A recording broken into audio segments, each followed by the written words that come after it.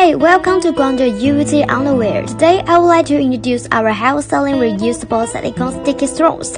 There are two silicone stickers in the front and the back of the straws. Next, I will use my arms to test the adhesive.